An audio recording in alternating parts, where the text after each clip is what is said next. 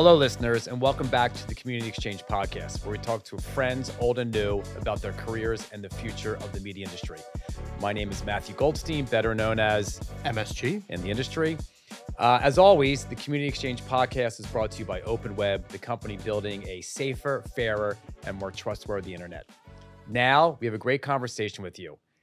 David Rowley, who, by the way, we're wearing the same outfit. You got the same. It- You got the memo, obviously. it was like the TikTok, like I come out, you come out, same outfit. Yep. David has a passion for helping content owners create, maximize, and future-proof monetization channels and personalization, a success as a service, whatever the hell that means. no idea. He spent the last 20 years focused on revenue operations and now a little more technology side of Mhm. the business, helping media owners of all sizes build out ad ops teams and ad tech stacks. Specifically, he helped companies like Advance, Local, NBCU, She Media, Travel Zoo expand their programmatic capabilities. Programmatic capabilities. In-house, creative, yield management, yeah, yeah, yeah. Okay. So, David, welcome to the podcast. Thank you for having me. Now, I was going to take awesome. off my shirt, but I'll just leave it like this don't. with the matching outfits. Oh, it's not that no, bad. this is perfect. We look like we're uh, in, a- in a band or like a troop. Oh, we've got troubadours or something. okay, so let's start from the beginning, Yeah. which is you went to college where and how did you get into this technical stuff from where you started in college? Yeah. Well, it's it's funny, weird, all those. Like I have no clue where where I am or why I'm here, but it's it's awesome to to you know to to be at this point where I am. Um, it started in college, so I went to Oberlin in Ohio, which is a small liberal arts college. Yeah, I have a friend who goes there. It's a really small college. Yeah, it's small. It's got a great music conservatory, uh, but I went there for religion and art was my minor. So you know, I was- religion, really? Yeah, it was comparative religion. Mostly studied Judaism, Taoism, most of the the spiritual stuff. Which That's a whole separate conversation we'll have. it is, it is. Um, but I loved it, and art was my minor, mostly photography. Um, and the best thing about it was the fact that in senior year, I was able to do a study abroad program, which was in New York, not like you know Madrid or Wait, you went else. to Oberlin in Ohio and Yeah. you do a study abroad in New York City? Well, yeah, but when you're there, it feels like Okay. New York is abroad. Um, so I did a whole uh, three month internship with um, a photographer who focused on um, performance art. Did a lot of um, did a lot of shooting of like the Wooster Group and other cool uh, musicians, dancers, all of that That's stuff in the city, and it just blew my mind. And I knew that I had to come back here, Where'd you grow up before you went to college? uh, just outside of Philadelphia in Swarthmore. okay, and I grew up just outside of Philly in Lafayette Hill. There you go. Philly Okay. life. So yeah, let's go Eagles, right? Yeah, Fly yeah, birds fly. exactly.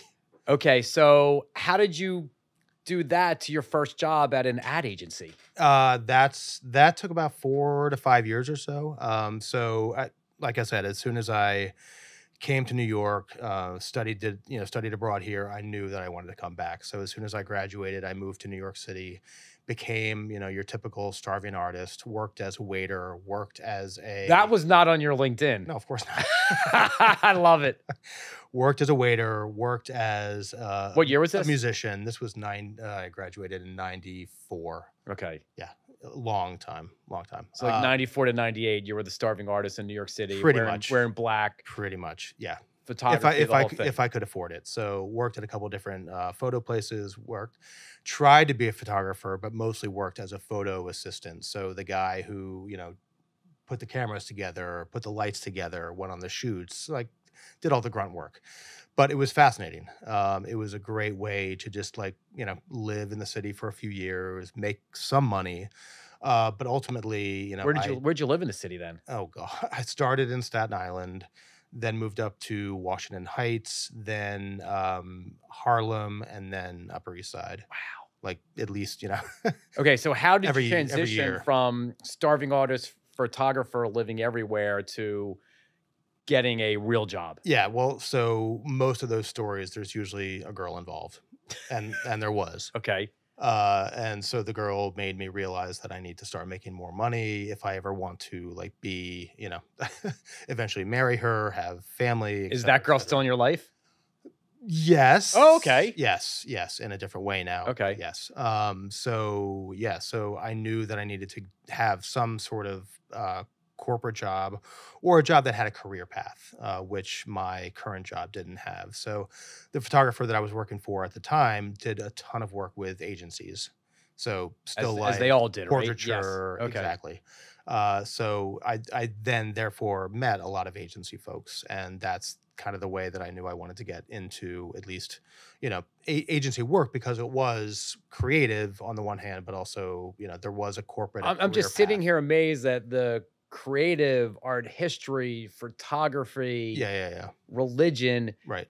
And now you're running tech for a big news company. We, we, to get to how you got there, it feels like it's a disconnect in my mind. No, well, I mean, it's it's it took a long time. Okay, So okay, It's obviously been okay. like 20, 20 plus years. okay. So yeah, Young and Rubicam, right. which is part of what holding company or That those? is WPP. okay. Yeah, yeah. So I get confused with every single holding company and who and I what. I still do as well. And I think the naming they need to change that naming convention and be Young and Rubicam or WPP Young and Rubicam. right. Well, it was the start of the acronyms.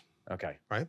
Uh, so yeah, was at Young and Rubicam for about four years. The the great thing about the original job that I started in was uh, basically a uh, an executive assistant to the president of Y&R. So not only do I come in to my first corporate gig, but it's also at the highest level of the company. So I remember my as an assistant, I remember my days at Viacom Yeah. and the executive assistants to the CEOs were Yeah. some of the nicest, smartest, best people around.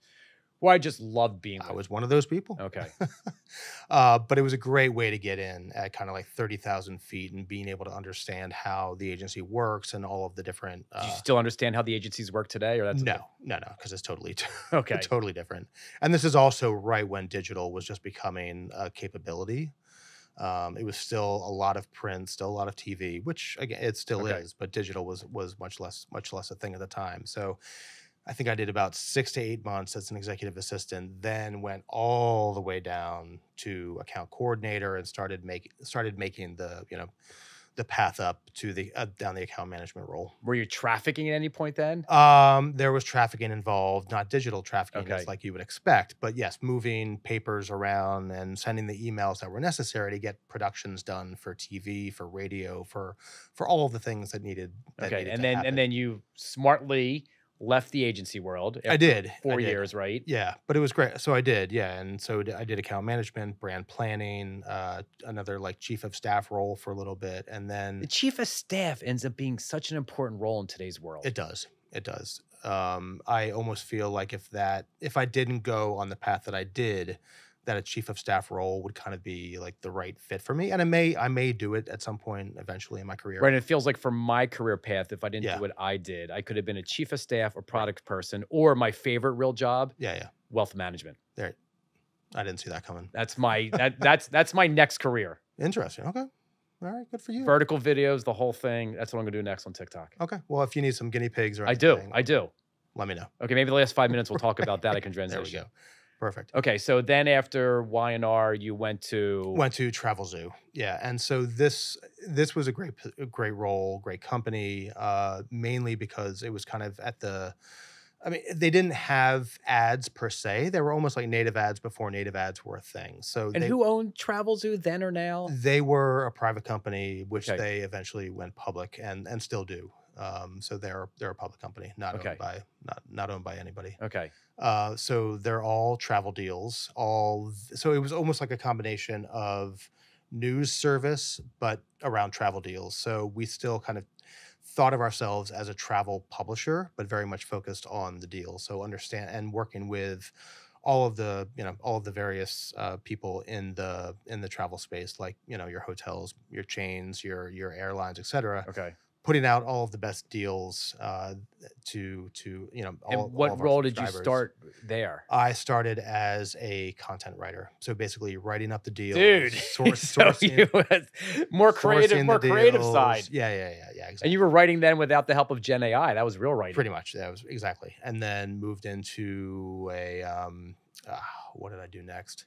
Moved into a role where it was more product management, uh, still writing content, but um, publishing a newsletter. And when did you get into the whole programmatic ad ops world? Like when did that happen? So that happened. So the the last job that I had at Travel Zoo was, and this is the slight connection, uh, was focused on inventory management. So because all of the various placements on the website and in our newsletters were were sold, um, we had to have some sort of way of planning that inventory and knowing, you know, six weeks out, eight weeks out, ten weeks out, what you know what space. So they, they looked at you, the jack of all trades. to build out a inventory you know planning system, which again at that stage What were you building it out in Excel? Excel. Yeah, yeah. There were Pivot tables? there was no Yieldex. There was no Pivot tables? Of course, yeah, yeah. You have to. So that's the transition into That was- I'm an analytical person now. Correct, correct. And why Well, they why they pick you to do that? Uh, because I was good at it. Okay. and they realized that it was that I that one of the well one of my products that was um, was a weekend newsletter called weekend.com. They were shutting that down because it wasn't. I mean, it was. I thought it was doing well, but they need they needed to re, Oh. refocus and repivot. So they put me into a into a role that was much more uh, required at that Okay, point. so you went from the photographer, writer, creative dude to I am now cranking out Excel pivot table inventory spreadsheets. analysis, exactly. And did you like exactly. that? I guess you did. Um, I did, I did. Um, but it was it was something that I was looking for looking for more, Yeah. Which is why you took that job. which is which is why I took the job. Correct. Okay. exactly. And then what happened after Travels? Or did you peaked out and you said, okay, that's it, I'm moving on? It was. I wish it was that. It was one of my one of my one of my two uh, layoffs in my career. you know something on a previous podcast, I Yeah, yeah. admitted that I was laid off and oh yeah, no, I mean there, there's no shame. I know, there's but no one ever admits those things. It's like taboo to admit, but Yeah. it's okay because it happens and sometimes it has nothing to do with you. No, no, no. It, it Yeah. usually always has nothing to do with Right. you. Um, and and for me, and and probably for you as well, like the life lessons that you learn from it, uh, un, unquestionably the, the best. The It's best easy to things say that in hindsight. In hindsight, happens, for it feels sure. horrible. Yeah, yeah, yeah. But it ends up, it happened to me. One of the best things that ever happened. It's how I started consulting. But this is about you. So, okay, so you were Right. travels there. They're like, okay, David, that's it. yeah, yeah. Your yeah. yield management system Exactly. sucks, or you've built it well enough, or we're going to do No, it. it's more that you have somebody underneath you that that can do your job, and they're cheaper, so we'll take them. Okay, so how did you go from there to what was next? So it took a few months to find something. Um, eventually, that uh, turned into an opportunity that I had to do something similar, uh, which was somewhat similar. It was a stretch, but uh, was basically to run um, ad operations at uh, BlogHer. And which was- BlogHer, I get confused all the time. Yeah, yeah, yeah, yeah. She Media is it Penske? Like who owns BlogHer now? Yeah, so back then they were their own their own startup. It was a, a, a, a basically a women's blogging network of roughly I think three thousand women's blogs across the traditional verticals of of, of food, parenting. Which probably today was like um, almost a version of Raptive or something. Yeah, yeah, yeah, yeah. It, it really was. Um, it was exactly that. So we controlled the ad code. We we didn't control their you know their um, their CMSs or anything, uh, but we controlled all all of the ad code, and it was it was a great transition. Uh, I learned. Um, are we allowed to curse? Yes, you're allowed to curse. Just wanted to make sure.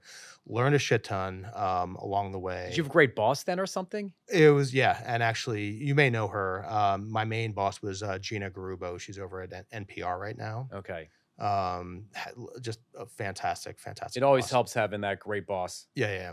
And she just let me do do anything, um, build out the build out the group. Again, we couldn't, you know, add too many people, but we just I was given the flexibility to build out the, you know, build out the the department basically.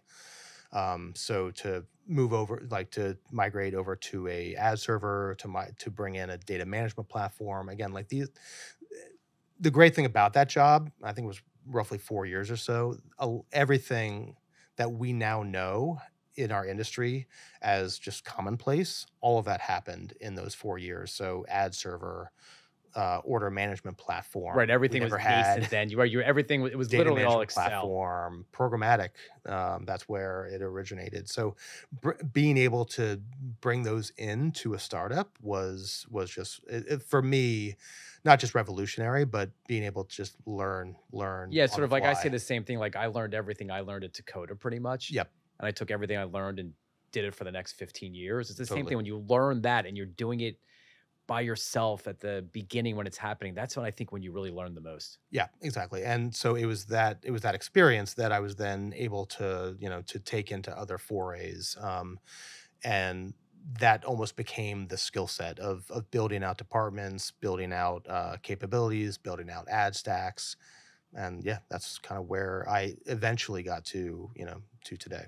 Okay, so BlogHer. What happened after that? Uh, BlogHer then th- event did about a year or so at NBCU. Um, pretty Big- much big conglomerate. big conglomerate. It was it was a big. Did you work with Linda. Yaccarino? I did, but didn't. talk- Okay. talk too much. Uh, mainly because there were a lot of a lot of uh, titles between us. Okay. Um, but Peter Blacker was probably the guy who. And and were you a ad ops person or a tech person at that point? it was still operational, but also then went back into an, more of an analytical role Okay. um, because it was then kind of leaning a little bit more back on my inventory. But at some point you morphed into a technical person, right? correct. Okay, correct. so let's get to there. Okay, so then Yeah, you yeah. were at NBCU for a little time, and right, and then moved over to Advance Local, where for seven years or so, really focused on building out operations, building out the Advance Local is owned by the Newhouses, Yes, right? How many how many local It properties do they have? oh, I'm blanking on the number, but effectively they are they own the majority of the newspapers in Michigan, Alabama, uh, here locally. Okay. At least it, it, they have NJ.com, the Star Ledger. Um, so yeah, they have got about I think 20 plus. And they're a pretty well run company, right? It's a, it's a very well run company. So it's yeah, it's Newhouse, so it's Advance Local, it's Condé Nast. So we're effectively the newspaper version of of Condé. And what'd you do there? Uh, mainly uh, ad operations and and ad technology. Okay, so you started doing more ad technology then. Yeah, yeah. I mean, the, the big difference with with this role was the not just you know serving on our owned and operated, but because we were serving local constituents, uh, we were serving a lot of small and medium sized businesses. So therefore, we had we had to do other um, other media capabilities. So be able to handle search campaigns, social campaigns, um, branded content to a certain extent. So it what was nice is you know up until that point I had known everything about you know ad server ad serving as it relates to just you know one particular site or Okay. at least what we owned. Here we were able to you know to pitch you know uh, all sorts of sorts of campaigns. And at what point did you move to Montclair? Uh, that was right after the not the- not the pandemic. Sorry, right after 9-11. So yeah, Okay. I'd, I had been in Jersey for for twenty plus years. Okay. at that point. Okay, so now you're Advance Local. Yep. What happened next? Uh, Advance Local. That's where the second the second layoff comes in. Which was more of a and and it happened right about a year after the pandemic or so so local was struggling and it was struggling even more because Oh, so we're talking 2021 now. we're talking Okay. 2020 eh, exactly exactly so mainly there was a whole like uh, cross section of the company from a from a title perspective that they just slashed out um, and I was one of those, unfortunately. So again, going back to the point that it's never you; it's really all about you know you're some number in somebody's spreadsheet, um, usually in, in the finance company uh, or in the finance department. And yeah, so it was it was a shame, but the and I guess going back to my original layoff is that the one the one main thing that I learned then was the importance of networking and I knew and the network effect and I knew back then being laid off at Travel Zoo that I didn't have enough of a network. And so from that point on, I had been focusing on building out the network, going to conferences. which is sort of what I've been doing my whole like Yeah, exactly. like, I- exactly. and the and you're kind of the blueprint for it. and I get frustrated sometimes when people reach out to me and I haven't spoke to them in three, four, five years, and they reach out to me with the email saying, "Hey, I just got laid off. Yep. Do you want to talk?" And I'm like, "Yeah, I'll talk to you," but like, I send out eight emails a, a, a year. You Yep. can't just check in, and you, like, I just feel like that's not networking when you need something. No, networking no, is no, when you don't need something. Is when you have those conversations. Exactly, exactly. And and that that is one thing that I do need to always do better at is is is the not the constant but the more like the checking in on an ongoing basis with you know as many people as possible Well, there's sometimes on a random Saturday or Sunday, I'll sit on my phone and just check in with people all day long. yeah and I don't, and I do it because I genuinely am curious and I care. right right yeah i haven't gotten one of those texts in a couple weeks so That's Clearly you don't care. Well, because I knew I was seeing you here, fair point right? fine yeah sure i'll i'll believe it Okay, so okay, thanks. Okay, so then number two happened, and Bo, thank you Yeah, for yeah. being honest. No, no, I think this is something about being honest, and when people listen to these conversations, they like the honesty. yeah yeah well i i, I think it goes back to just being able you, i i think you learn way more from your mistakes than you do your successes so um you know i i see resignation or resignations layoffs as uh, not a mistake but something negative that you need to turn into you know turn into a positive um and so this go around from Advance to news corp Um, How'd you get from the advance to News Corp COVID? Like how I how yeah, yeah, yeah, yeah, yeah. So that um, I, because I, I actually think that's a fascinating conversation today because Yeah. there are probably more layoffs in the industry happening today than they have in yeah in in decades. in in right. So I think like, a lot forever. of people listening or watching are like, okay, how did you make that transition happen? Yeah, I mean, it is. I think it's the network effect. It's it's part luck. I think more than anything. There's a lot of luck and timing. Um, so it, it was kind of like it, it was kind of a two step. So I was um, interviewing for a position at the Wall Street Journal, uh, and eventually got to who I'm sure you know, David Minkin. Uh, so him and I hit it off. He's also a fellow uh, religion major. So And so there's two of you in the industry. yeah, two of us pretty much. There's probably more, but yeah, at Right. least we've accounted for for If us. there's any other religion majors, hit me up and Let we'll do a know. podcast on that because maybe there's a pattern here. It's fascinating. Uh, so him and I hit it off. Great guy. Um, didn't end up getting the role. Uh, he just didn't think it was it was too senior. Um, he thought it was uh, too junior for me. Um, but I was I was in his mind. Uh, and funny enough, Steph Layser, who everybody knows, I don't know in who's Steph Layser. I don't know who she is. no clue. Uh, just met her at the time. Uh, she, again, we'll, we'll we'll talk about the News Corp hierarchy Yes. and, and how things work. Um, but so she was work. She was you know had been in News Corp for several years. Uh, her and Minkin were obviously very close, uh, and Steph was going out on maternity leave in a few months. Oh, and they needed someone to And they fill need in someone for her. because News Corp has an amazing six month oh, that's such a great sabbatical story. for right for for new right for new parents and so they needed someone to fill in a consultant on a consultant consultancy basis. And this is more the tech side of the business too, right? yeah correct Okay. correct um and it was yeah and so uh minkin told her about me Steph and I talked. Steph and I had already known each other just through the industry. Right. Um, but so there was an instant, you know, camaraderie, understanding of of capabilities and experience. And so did a few interviews. Um, interviewed with her, interviewed with uh, Jenny, who was my boss for several months. Jenny Baird. Jenny Baird, correct. Okay. Who I know you talked to a, f- a few podcasts ago. so, Yes. uh, and so it just it worked out perfectly. And then what happened when Steph came back from maternity leave? Yeah, so six months, I you know kept the trains running, kept the projects running. It's so funny you say that because like that was some of the things that I did at Dakota. Like I Yeah. kept the trains running on time. Yeah, yeah, And people think it's an easy job. no, no, When no. you're growing, there's a lot going on. That is hard to do. Yeah, well, it's also more difficult when you're when you're slapped right into you know Yes. a train schedule that's already like and you have big shoes to fill. Correct, very big shoes to fill. So, you know, I had I had done you know these kind of roles before, uh, but I think also I think just the the the scope and the size and the breadth of of News Corp eh, was um, was tough to get to get used to. Uh, and you know, I, I I- I struggled for a bit, and also too, I, I think the struggle was also as uh, related to the fact that it was still still COVIDy times, still remote work, and and I was Well, it's very hard to develop relationships with people working 100%. remotely. Yep.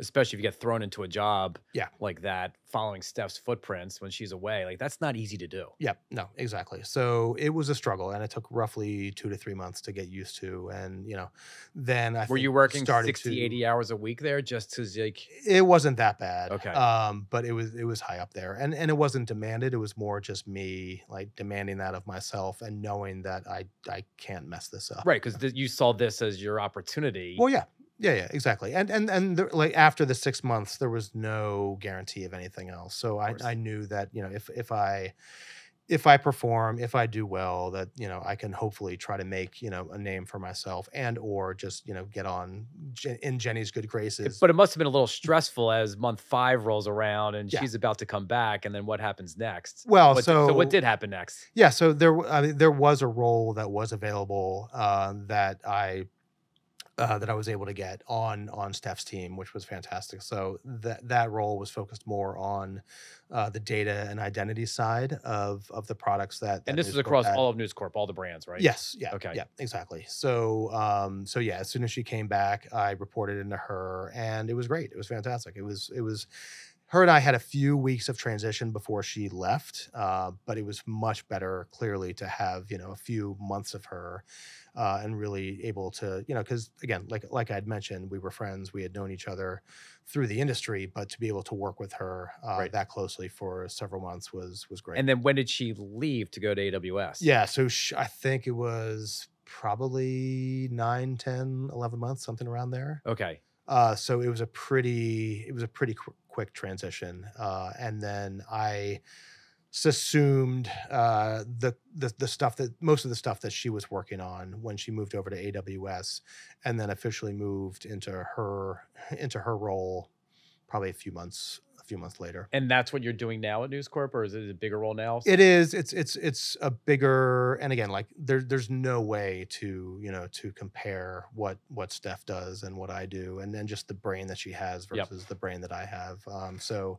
w- we we do things in very different ways. Um, I would n- in no way try to compare myself to to her. Um, so I've I've just taken the position and and tried to mold it into a way that one you know still provide things that the company needs and and provide that that I guess um, industry leadership and and understanding of what's going on within the industry and provide that you know that research and that advisory type of Right. type of role um, but also bring things that I'm interested in and also things and and trends that I believe are going to I think shape the industry and affect the company um, more so in in the coming in the coming years. Right. And who runs? Who's the CEO of News Corp? Uh, that is the illustrious Robert Thomson. Love that guy. Yeah, yeah, yeah, he is fantastic. I It feels like he has such a hold on the news world and what's going on, and it's so articulate. When I listen to his Yeah. earnings calls, he just blows me away. he is he is phenomenal in so many ways, and I, I I do get to interact with him every once in a while. That's nice. Which um, and it's it's just great to see his his brilliance, and it's what's nice about him is is that he's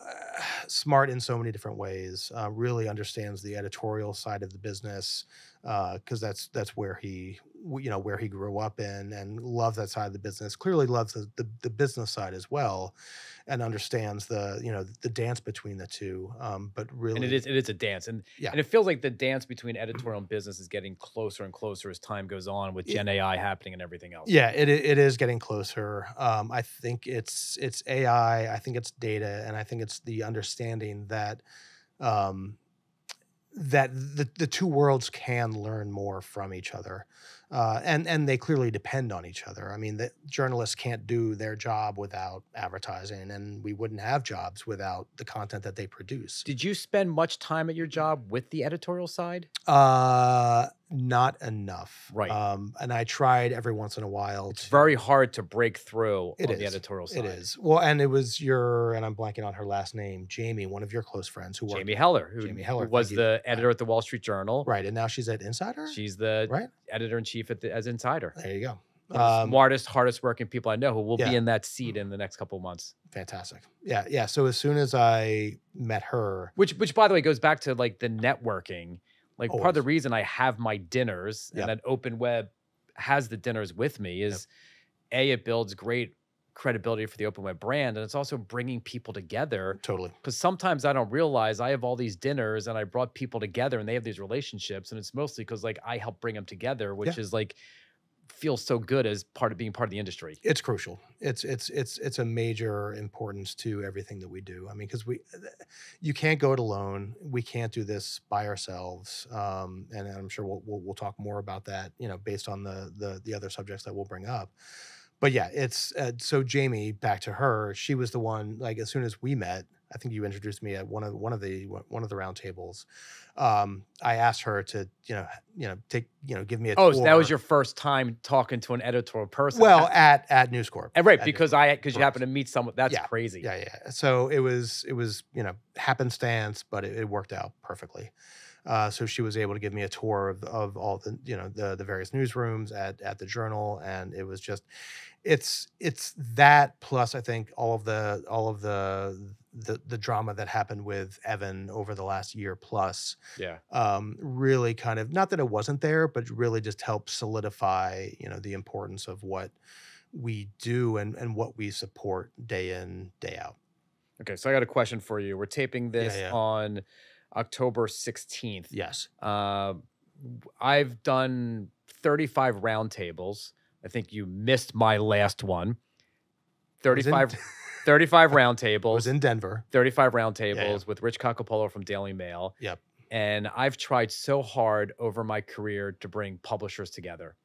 And I've brought publishers together so many times, but nothing formal Right. has ever happened. Right. And before we started talking, you were saying, Yes. Uh, that I feel like now more than ever, there needs to be some sort of, and, and there are in some ways, but some sort of deeper, tighter business technical alignment with publishers. okay, so what does that mean? How does it, can you go a layer deeper? Like, Yeah. what does that mean? It means that I, I, I agree. I just don't know how to do it. Yeah, well, I, I, I'm sure you've seen the, the the charts, and I mean we've we've felt it over the last you know ten plus years, where basically all of the big tech companies have been eating our lunch and taking ad spend away.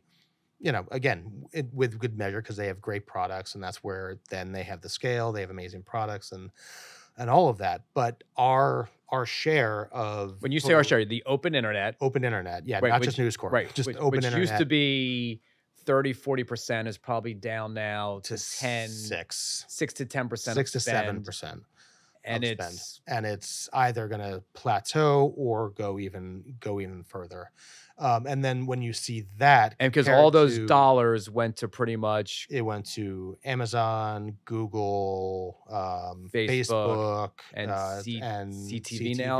Definitely, yeah, yeah, and, TikTok. and partly because they all have built-in measurement and attribution. they have addressability, and we right. don't. They have addressability, and more importantly, they have closed loop attribution, and that's the biggest. and the open internet does not, which Yes. is something that has to change. Which I agree. correct. When publishers get together, measurement and attribution, I believe, is the piece that brings us all together. So a dollar spent on the open internet actually gets measured that it's working because Yep. right now publishers are handcuffed and that doesn't happen. A hundred percent. Yes. And if you look out for the next five years, the big talking point is a lot of the, actually, most of the incremental spend, ad spend is going to be going towards retail media. Because they have retail media have as well. Closed loop attribution. right, who's correct. buying they get the email address and everything. Right. So all of these publishers, which are again like your Dotdashes, your your your News Corps, your New York Times, um, and and even all of the the the more medium and smaller tail like the Raptives and the Mediavines, all of those, like eh, there there there does need to be a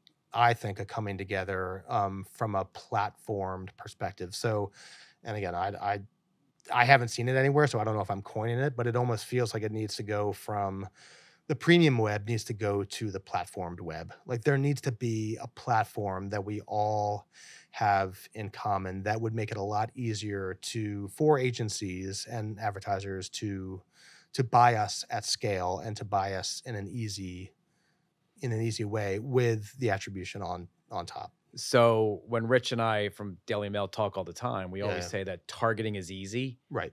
Measurement and attribution is where the hard work has to happen. Right.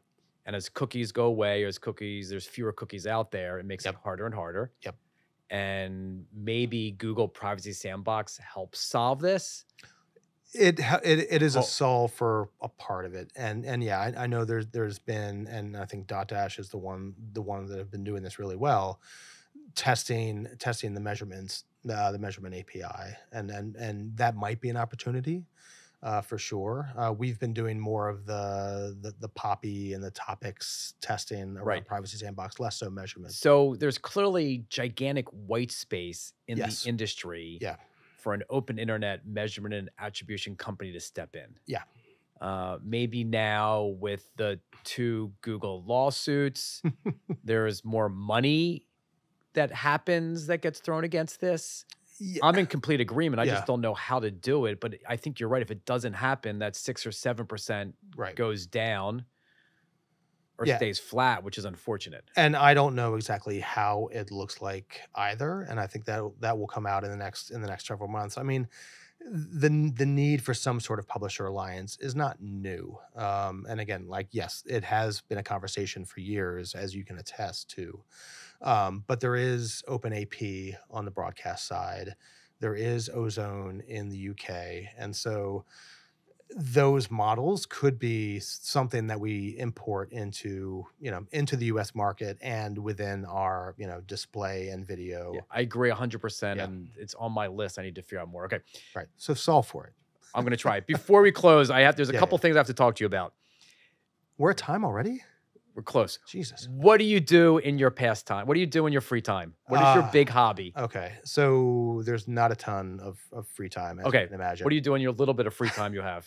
Uh, so I have two boys, uh, 17 and 14. So they're usually either their activities or doing stuff for them is is first and foremost from a priority prioritization perspective. So dad is is high up there on the list, and then probably the next highest on the list is uh, music. So I'm Okay, that's I'm I don't ca- I don't care about the kids. I want to talk about the music. Screw the kids. Okay. So the name of your band is Gin and Sonic. Gin, like you drink a gin and tonic. yeah, like gin you, and tonic, but gin and Sonic. So and you play what instrument? it's the band that you can drink.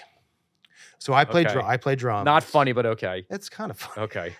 Uh, so we've been around for about a year or so. Uh, you know, the the the pianist and I had been talking for years about setting something up, so we finally did. Do you And play in the big city or you play out in Jersey? We shockingly have a gig at Connolly's on on 45th in January at some point. So that'll be our first I, New York. I- you're not giving me an exact date. I, January 25th. I Okay. think, something like something around there. Okay. I'll, I'll I'll send out pressers. Don't worry. Uh, uh, but most of the gigs so far have been in Jersey, Montclair, Bloomfield, all in Essex. and I know the answer. You play Yeah, yeah. play all old stuff, right? so it's It's got to be 70s rock. Yeah, it's it's a little bit of classic. It's classic rock. It's but it's also 80s, 90s.